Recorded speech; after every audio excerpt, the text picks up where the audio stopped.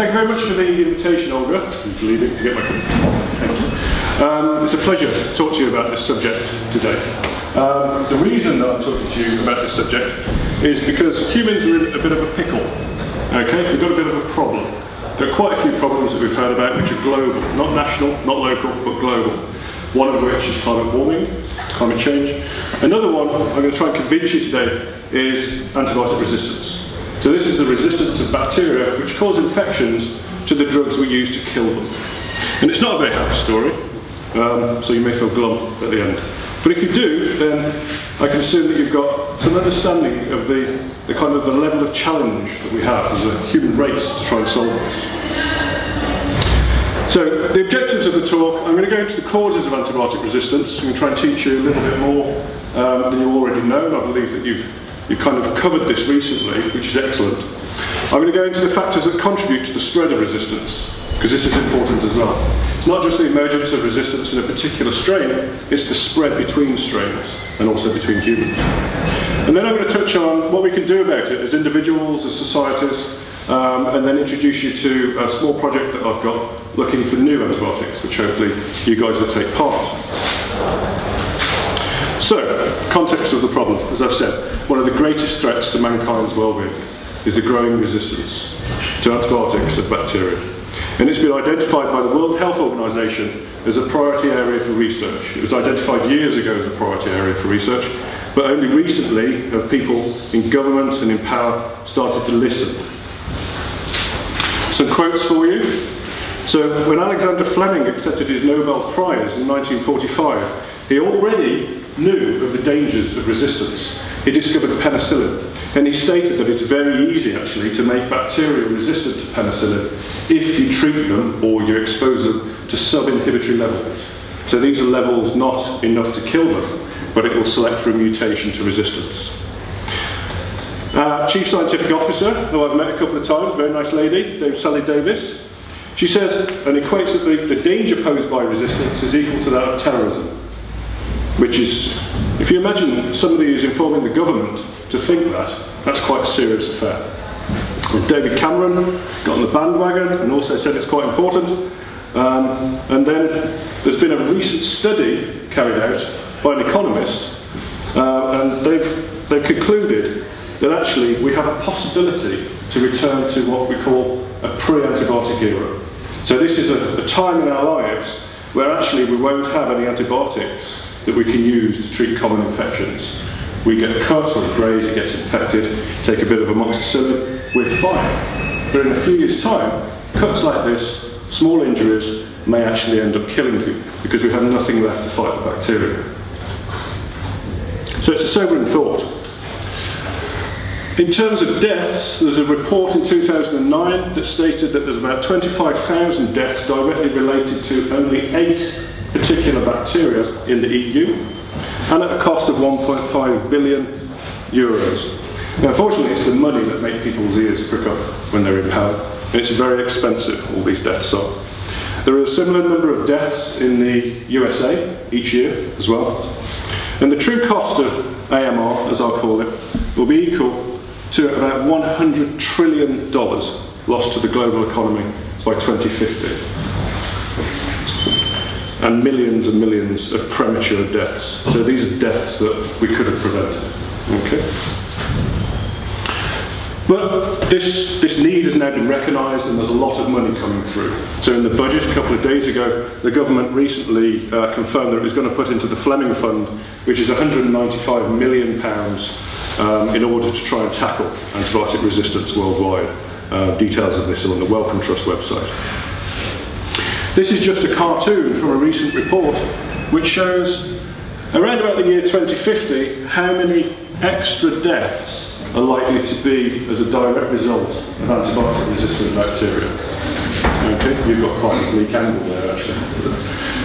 Hmm. Anyway, in, um, in Asia and Africa, we're getting up towards about 5 million extra deaths per year. So you can see it really is quite a serious problem. Why is it serious? Well, you see that? Yep. What we're in at the moment, we term a discovery void. Okay? So since the introduction of penicillin, around about 1930, we've had a constant stream of new drugs coming to market. It was excellent. It was the golden era of antibiotic drug discovery. But since daptomycin was introduced, there's been no new drugs coming to market for, well, since 1987. That's many years. You can do the maths. Okay, this means that the bacteria. Ah, thank you. Cool. This means that the bacteria. Uh, just.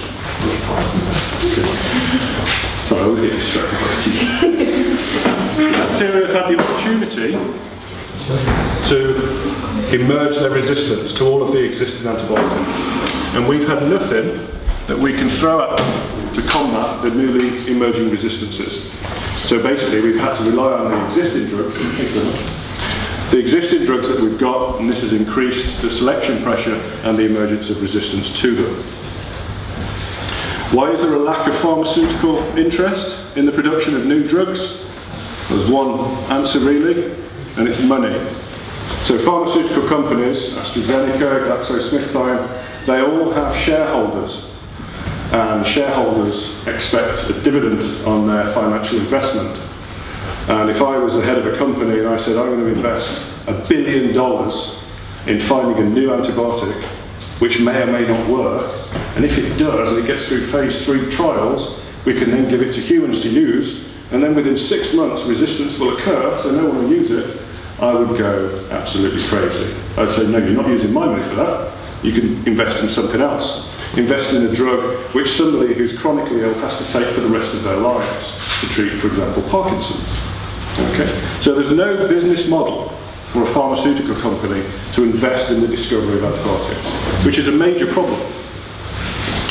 So incentivisation um, is being looked at now, but it's really quite accepted that the model is broken. It's going to be academic labs like mine in conjunction with industrial partners who come up with new drugs.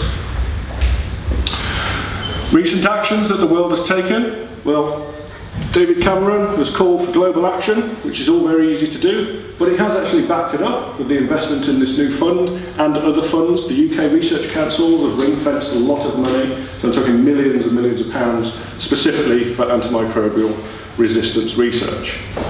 Barack Obama in the USA has doubled the annual budget to $1.2 billion again specifically for research into this particular area.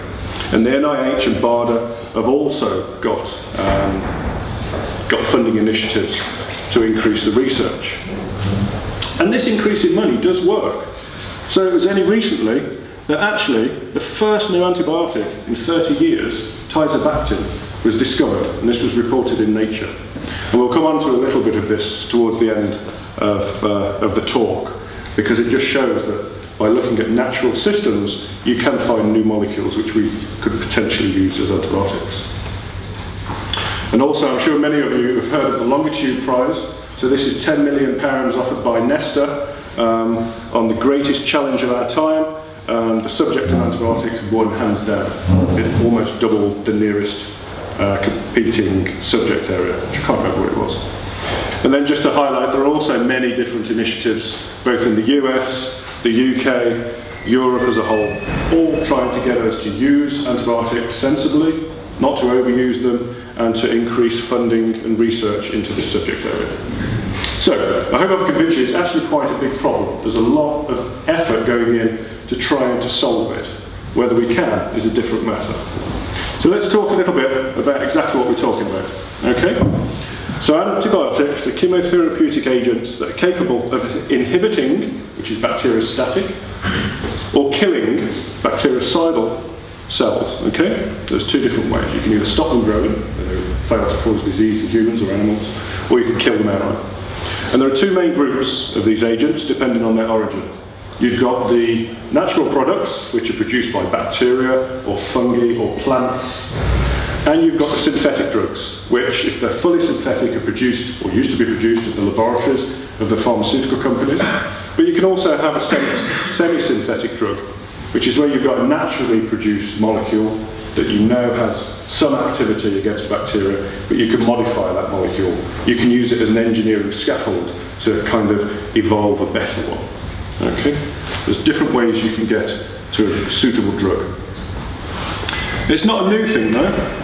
Antibiotic resistance is ancient, so most of the antibiotics that we have at the moment are produced by bacteria. So if bacteria is producing an antibiotic, it must also have a resistance mechanism, otherwise it will kill itself, and this will never ever evolve. There was a very, very nice study um, a few years ago which showed that from these 30,000 year old pristine sediments, so these have never come into contact with humans or human influence, anthropogenic um, influence, lots of different well-known resistance genes to beta-lactams, tetracyclines, vancomycin could be isolated. Some of them were long operons, such as the vancomycin resistant one. So these genes were present in sediments far away from human activity 30,000 years ago. And now they're present in the hospitals. We've selected for them.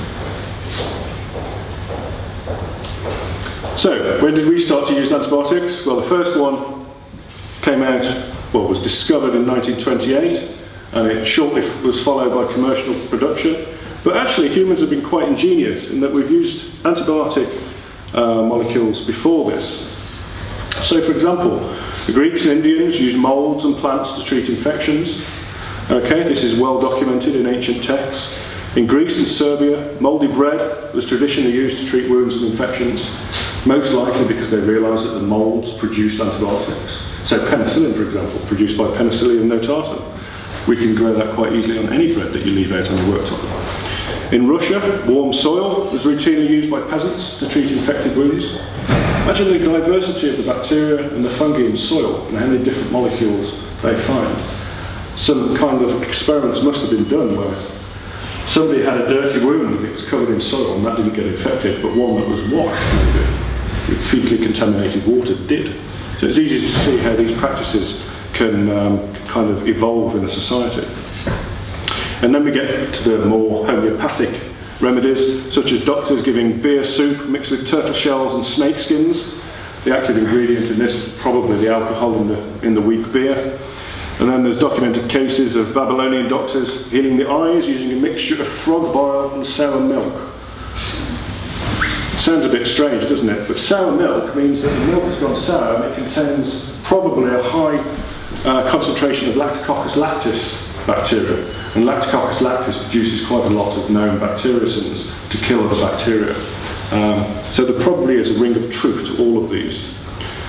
In addition, it's not molecules that are always produced by uh, bacteria. So silver is a great antimicrobial, and this has been used for thousands of years, or just over a thousand years actually.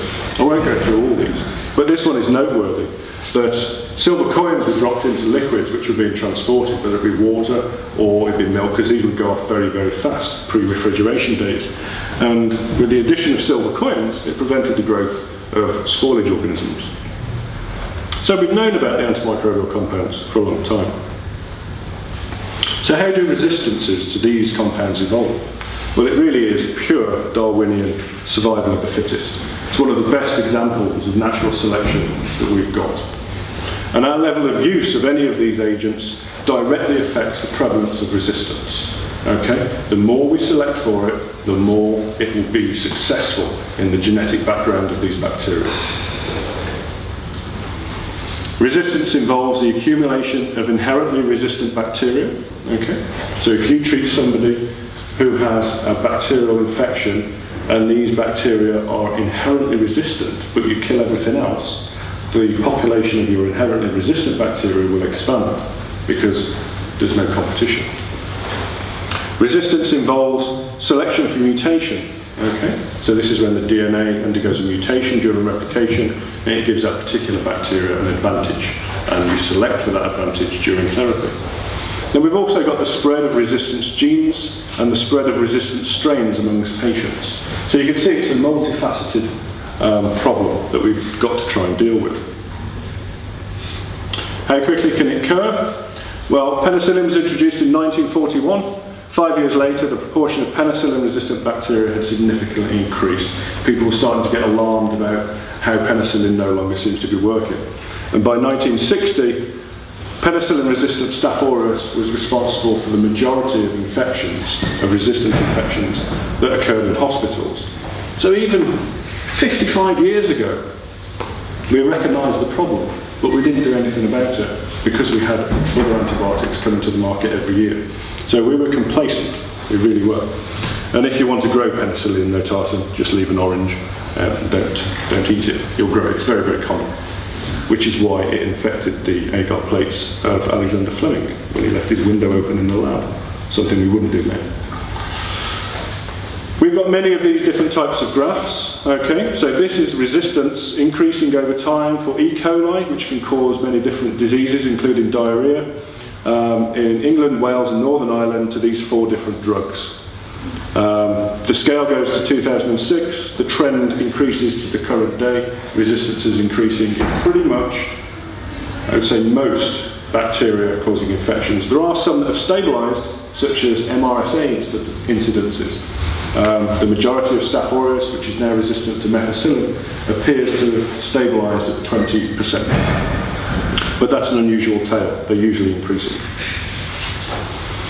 So why are these pathogens doing well? Well, we've got more immunocompromised patients in the hospitals at the moment. We've got more of an ageing population. So there are diseases of the, of the old, if you like, um, and the hospitals are full of them. And if the hospitals are full of old people who are immunocompromised, this represents a great source of food for the bugs. Because when you get ill, you are essentially just food. Uh, we've got more indwelling devices and transplants and that cartoon on the left. On your right um, shows all the different bits of the body that we can implant or replace. And all of this gives bacteria the opportunity to cause infections within our body. And these are a lot more um, occurrences of these now compared to 20 or even 10 years ago. We also use antibiotics prophylactically. So if you're going to have an operation or you're going to have chemotherapy, you'll probably given antibiotics as well, just to prevent infection. So this isn't to fight a particular infection, it's to prevent infection. And this has the, uh, the unwanted side effect of basically killing everything that's sensitive in your body. And this can clear out, for example, the contents of your gut and leave you vulnerable to Clostridium difficile infections. We've got Clostridium difficile there. Um, the infections with this bug and Enterococcus and some yeast such as Candida are all increasing in the hospital environment because we've created new niches for the, uh, Some facts and figures for you. By 200 days of life, 70% of infants in the USA have been prescribed antibiotics. Has anybody here not knowingly ever taken antibiotics? Because you get a swab if you haven't. No, so everybody's 100%. Okay? Nobody's ever put their hand up when I asked that question, by the way. By the age of eight years, only 7% of children have not used an antibiotic in the UK. And this one here, this really, this really represents quite a problem. Okay? So this is for doctors and dentists um, in the land. 40% of paediatricians reported parental pressure for antibiotic prescription. This is because parents always know best. Okay? You've got a sick child, you want antibiotics. What about just a virus? Doesn't matter, we want antibiotics. You virus. Look, I'm a parent's child, I will sue you if you don't give me antibiotics. Oh, you're going to sue me? Yeah. There you go, antibiotics. Okay? And we get, the, we get into a situation called the tragedy of the commons, because there are so many inappropriate antibiotics given out, that actually if one doctor decided to make a stand and not give antibiotics out, it's not going to make a blind bit of difference. Okay? Because everybody else is doing it, so he might as well do it as well. Okay? So it's a kind of a self-feeding, disastrous situation. We, we just keep pumping antibiotics out into the society. In fact, it's so serious that last month, NICE, the National Institute for Clinical Excellence, recommended that doctors, well, this is from the ITV, so NICE didn't use the word snoop, but doctors spy on colleagues. And if they notice that one particular colleague in their practice is prescribing a lot more antibiotics than usual, they should tell on them. Okay? So it's that serious. They want doctors to turn against other doctors. Or you could look at it another way, be self-regulating. Okay? Be responsible. So, what factors promote resistance? Well, obviously, we've got patient antibiotic use. Okay, so there's a massive pressure on patient use. We need them, they're miracle drugs. Nice um, Antibiotics can be self-administered or they can be prescribed. Most of the antibiotics given out in the UK are prescribed. If you go to Brazil, you can buy it over the counter. I have a PhD student from Bangladesh who's amazed at how difficult it is to get um, antibiotics here in the UK. He's been here for a year. He said in Bangladesh, you go to the local shop, you buy them, and you can eat them like food. Incredible. And I said that's going in the first line of your thesis. In addition to use in humans, we've also got veterinary use. Okay, we've got use in animals, proper use in animals when the animals are sick. Okay, again, we want to save the animals. We don't want the national herd to die if they're all ill. So if they need antibiotics, that's great. But they're also used for food production animals. No longer in the EU are they actually, but in the US, one of the major uses of antibiotics is to give to all of the animals that they've got, which they raise for food. Because there's an almost imperceptible amount of data which shows that the animals get bigger, slightly faster, and therefore can be harvested quicker. So it's an economic reason. Okay? And all this adds to the environmental um, antibiotic load and the exposure to the bacteria, because obviously they're excreted onto the land. In addition, we've got more undefined things like social class, age, lifestyle, geography, race. So we've got some data here from the Health Protection Agency just showing that Cipro resistance in E. coli was higher in Asian populations, com particularly compared to black populations. There's no real understanding of the relationships between this particular data set and the, uh, the humans involved. But it's there, it's unequivocal. And it also exists internationally as well. So this is um, Streptococcus pneumoniae, which is resistant or non-susceptible to erythromycin. And you can see here in the Mediterranean countries, the amount, the percentage of resistance is a lot higher. But it doesn't tally with use. Well, it does in Spain, actually, because they give everything away. It's a bit like Brazil. Uh, but in the more northern countries, there's a lot less. And again, the reasons for that are still ill-defined. In addition, we've got exposure to heavy metals. So if we imagine um, amalgam restorations, for example, fillings in your teeth, 50% of those fillings are mercury, and there are also silver and copper, zinc. All of these elements, okay, are antibacterial, and bacterial, um, bacteria evolve to put resistance genes together to minimize the load to themselves. So you might have a mercury resistance gene which has managed to get linked to an antibiotic resistance gene. So if you're selecting for metal resistance, you may inadvertently be selecting for antibiotic resistance as well. And then we've got the transfer of antibiotic resistant bacteria, okay? If emergence of resistance occurred in a hospital and we could keep it there, probably wouldn't be much of a problem. But unfortunately, we tend to travel a lot, okay? And we've got poor hygiene. We also have companion animals. so this just shows, just this just shows the metro in Tokyo, where they actually employ people to push the people on the train. So there's no air available, actually, you just fill it with humans because it's economically more viable. So imagine being on a train like that, and then somebody sneezes. Now each one of these aerosols, there's two things about these aerosols you can see. One, they're big enough to be photographed, and probably only represent 0.1% of the total aerosols produced in a sneeze. And two, none of them will be sterile all of them will contain bugs. So the smaller particles that you get, which you can't see, which contain bugs, will travel along the tube train very fast. So it's probably within minutes everybody has breathed in an aerosol from that sneezing man. This just highlights the amount of metal you could have. And then a lot of us have pets. Okay, they go to the vet, they're treated with antibiotics. A lot of pets lick people's faces and other things. And you get the sharing of the bacterial flora between them. Okay. And then finally, there are also a lot of unknown mechanisms. We really do not understand all of the selection pressures for antibiotic resistance. Uh, so there's still a lot of work to be done. Okay, so how can bacteria become resistant? So I've listed five four known and five unknown here. So what we've got, we can have enzymatic detoxification or alteration of the antibiotic. So this is where the bacteria can produce a protein probably encoded by a plasmid, but it may be on the chromosome.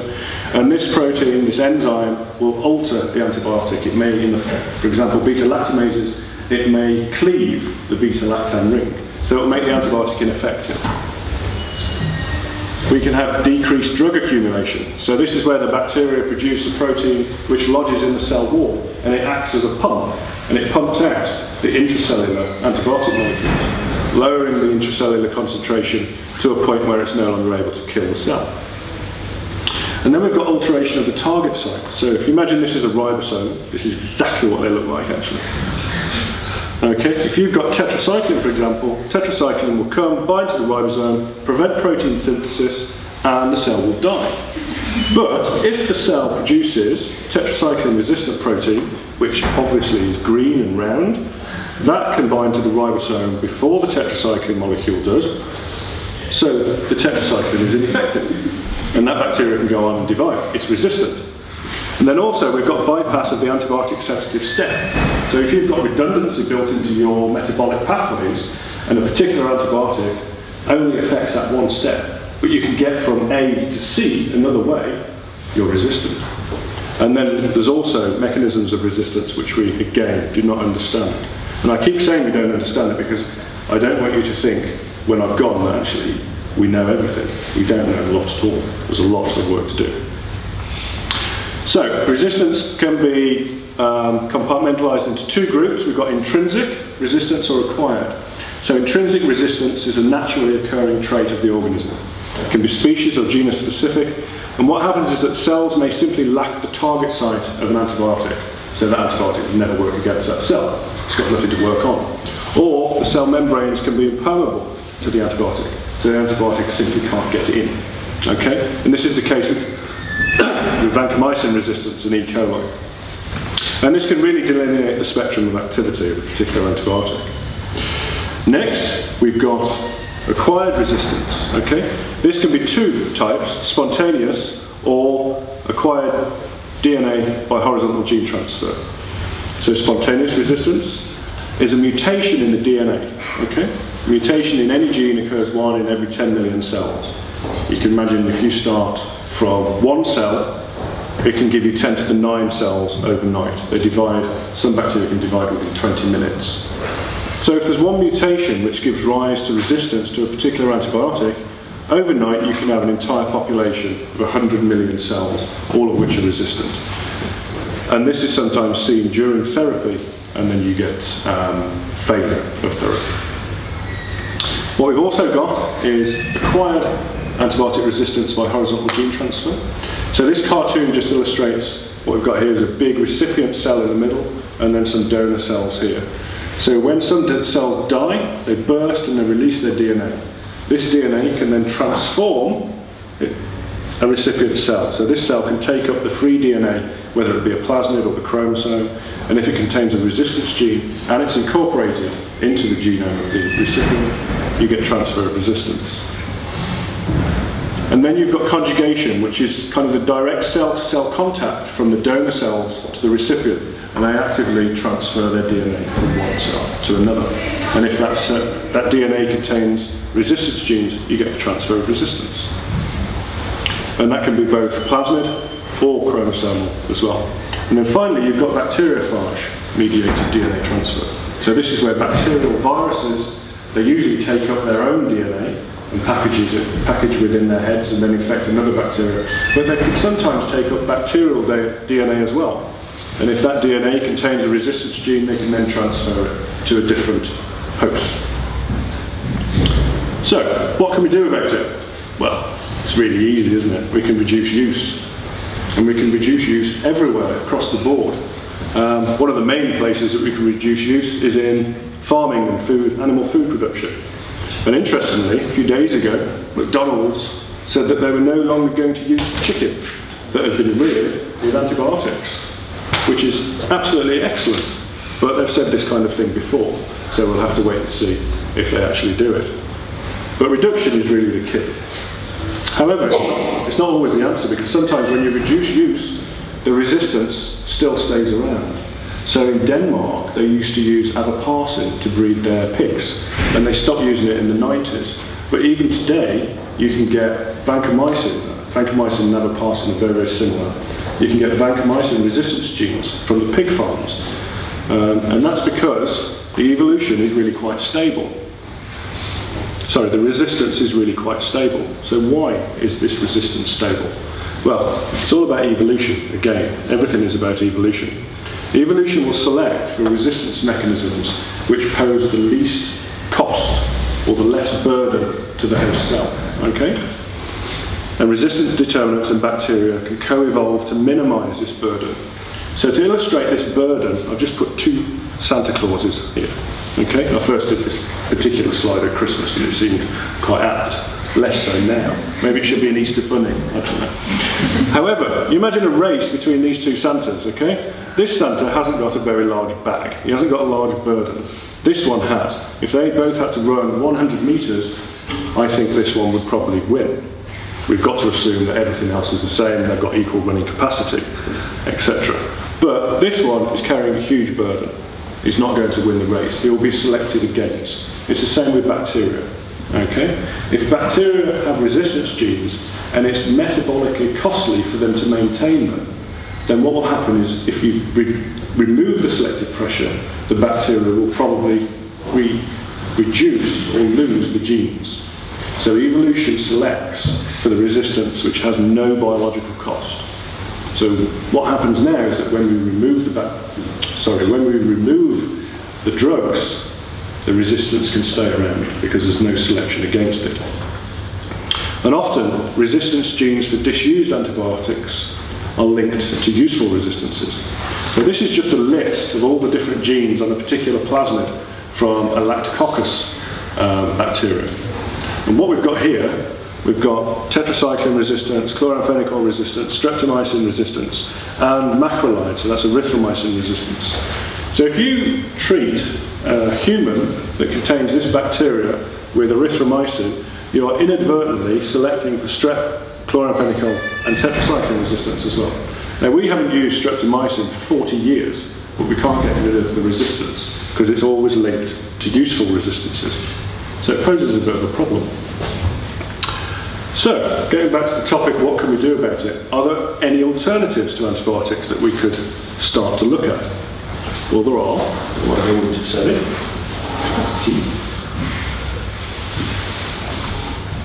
So one of them is photodynamic therapy. So this is effectively zapping microbes with light, okay? So PDT is where light activates a photosensitizer molecule. And the photosensitizer molecules, when activated, release oxygen species, reactive oxygen. Okay? And this causes DNA damage, um, it disassociates the cell membranes and it leads to death. And it's really good for biofilm disruption actually, where sometimes you can't get an antibiotic deep within the bacterial mass. And also the short lifespan and the multiple targets that cause death means that resistance to PDT is very unlikely to occur. So there's a lot of work going on in this particular topic at the moment as an alternative to antibiotics. There's also probiotics, okay, our alliance with the good bacteria. So this is the use of live organisms to confer a health benefit. And it does actually work in some cases, okay. They can prevent pathogen colonization by producing bacteriocins. So bacteriocins are small proteins that some bacteria use to kill others, so they get all the food and the space. If you put in beneficial bacteria into a gut, for example, that can outcompete pathogens, it's another way that you can reduce the numbers. And it can also prevent adhesion of pathogenic bacteria to host cells. And it's been shown that lactobacillus and some yeasts can prevent recurrent Clostridium difficile infections. So they are actually being used. And then more horribly, but with greater success, whole fecal transplants are being used. Um, that's exactly what I thought. So, so what's happening here is that some people who have Clostridium difficile infections continue to get recurrent Clostridium difficile infections. And it's really debilitating. And some of these patients, they just want to die, they've had enough. So what they will do is entertain having a whole fecal transplant from a, patient, um, from a family member. And they just put it into a food mixer, put it into a tube, stick it up, and the success rate is about 99.9%. It's incredible. So basically what you're doing is just modifying the gut microbiome so you make it too competitive for Clostridium difficile to survive anywhere. Okay, so it does work, and there's a lot of work going on in microbiome studies. We've also got phage therapy. There's a lot of work being going on in this. I just submitted a £300,000 grant to the MRC to try and use it for C. diff. Um, and this is basically using bacterial viruses to treat infections of bacteria. Okay? They've been used solidly by the Soviet Union. Um, there's a massive institute in Georgia which still use them, and they produce all these phage cocktails. And they do so because antibiotics were too expensive years ago, so they had to go down the bacteriophage route. And there's various, there's, there's a lot of success using these, but there's one problem in that, bacteriophage and bacteria have a predator-prey relationship, so resistance to bacteriophage is always occurring. But fortunately, phage can also evolve to reinfect bacteria that become resistant. So you get this kind of interplay between them. So controlling that and preventing resistance is the major um, problem at the moment with phage therapy.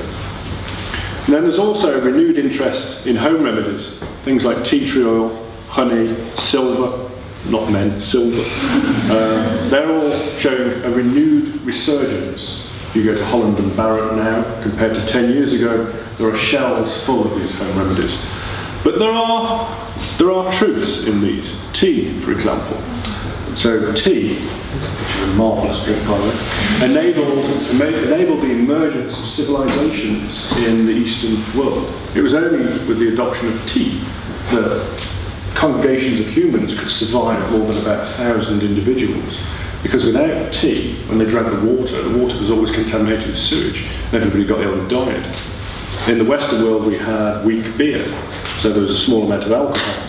So it was only either with the tannins in the tea, which are antimicrobial, or the small amounts of alcohol that cities emerged, actually. So these, these antimicrobials are inherent to our development. Honey, that has also got antimicrobial properties, and there's a lot of research going on into there. And as I've said, silver uh, is a well-known antimicrobial. Um, and then we've got other more crackpot ideas for example, homeopathic medicines. So I think the definition of homeopathic medicines is to fight self with self. So you get some nasty chemical and you dilute it to the point where there's no nasty chemical left, and then you take that. And it might make it better. However, it doesn't, because there's uh, an absolutely conclusive study recently um, published from a massive effort in Australia which shows that after review of all the literature and thousands and thousands of studies, there is no evidence that any homeopathic treatment has a benefit. Little message there. But the most obvious thing to me that we can do is to get new drugs. Okay? We had an era, the golden era of drug discovery, where we had a little problem with the resistance because we always had an alternative in the cupboard clinicians with a very sick patient or a ward of very sick patients could try many different things. Now that luxury is gone. So if we can find new drugs, that would be really, really cool. There are two types. We can get new bacteriocins, which are produced by bacteria. These are proteins, they're ribosomally produced. They're very diverse, they're usually very small. Um, they can often be found on operons with 11 up to 11 genes, actually it's up to 11, 35 now, genes required for the production of one particular protein. Um, and these, these have different effects on cells. They can puncture the cell walls to release the contents. They can bind to DNA. There's many different ways that bacteria can compete with other bacteria by producing bacteriocins.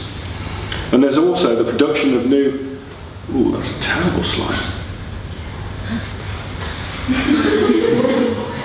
that didn't work. Anyway, if we imagine this one and these two aren't here, this, this teixobactin has been produced. I'm going to move this because I really like the structure. How do I get rid of that? so it's working on that. Anyway, right, so this is half the structure of a new um, molecule, which has recently been found. Okay, the other half is kind of underneath this piece of apparatus here.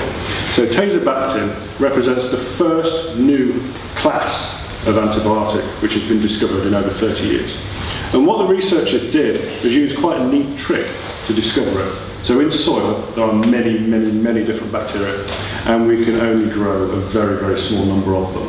Okay, so we can probably grow 0.1% of the different species of bacteria that we can find in soil.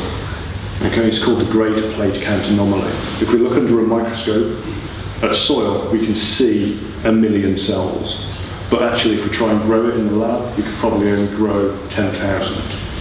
So there's a lot of unexplored bacteria in the soil which we could use to see if they produce new drugs. And that's exactly what these guys did when they found Teixobactin.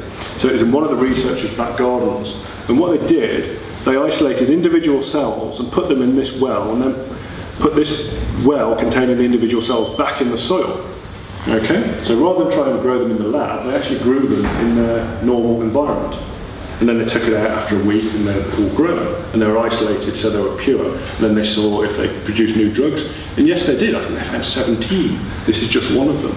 So it looks like there's a, a huge reservoir of new compounds that we can have a look at if we can get the culture conditions right. And then this is where you come in as well. I know it's such a cataclysmic problem and we're all going to die, but we might as well have a bit of fun. so I've done this crowdfunding project called and Send, which you may have heard about. And basically what it is, is that if you're involved, you get a swab sent to you by the post or brought to you by me. And what we're asking you to do is to think about competitive environments that bacteria live in, such as soils, Okay? It could be dust, it could be something in your fridge which you've forgotten about for a year, and there's lots of different coloured mould. That's excellent. That's really what we're looking for, okay? Somewhere really grotty and dirty, where the bugs are going to be competing to survive and there's going to be lots of them. And simply what we ask you to do is to swab it, send it back to us, and then at UCL what we'll do is plate it out and we get this kind of thing. We get different bugs. This is obviously a nice plate which I've prepared for the photograph. They're usually a bit more messy. But essentially what we'll do is pure culture everything that we can grows from your swabs. Okay? And then we're going to see if those bacteria produce any antimicrobial substances. and we can do this by overlaying this agar plate with some top agar containing our indicator strain. So we put another bacteria into the top agar and then we let that grow. And if any of these produce anything which can kill it, you get this kind of zone of inhibition. And then we'll take that further forward and see what kind of antibiotic it's producing. So in order to do this, last week, me and Liam, the PhD student who's involved, we swabbed uh, a sink in my lab and we got all of these. And then we thought we'd go through the entire experiment. And to our surprise, we did get one. So you can see this bacterial colony here growing, and this kind of cloudiness all over the plate is the indicator bacteria. But we've actually got a zone of inhibition around this. So there's something in the sink in my lab which is managing to kill our indicator strain. So it seems like it's that easy. But I didn't want to say that. I was going to say if we want to use it to illustrate how difficult it is to find an antibiotic. But the thing is, we probably know this one already. Okay? So the pharmaceutical companies dropped out of sampling soils because they kept finding the same thing. They kept finding vancomycin, kept finding streptomycin, and daptomycin actually. But now we have new ways to grow, or we have new things that we haven't yet sampled, such as the insides of your fridge or the bottom of your shoes. We might get some weird and wonderful bugs producing some really novel things. And that may give us the opportunity to take our research forward and find some new compounds which can help. Okay, and I'll finish there and happy to take any questions.